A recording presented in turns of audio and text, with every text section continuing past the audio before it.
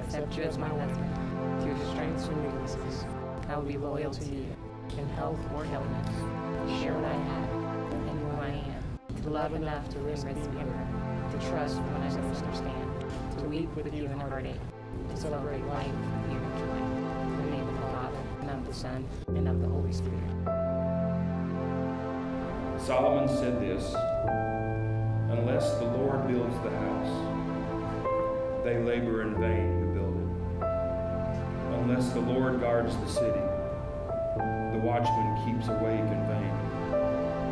It is vain for you to rise up early, to retire late, to eat the bread of painful labors, for he gives to his beloved, speaking of God, he gives to his beloved even in his sleep. And I think the insights of Solomon are very helpful to us today as we gather to celebrate this union here today.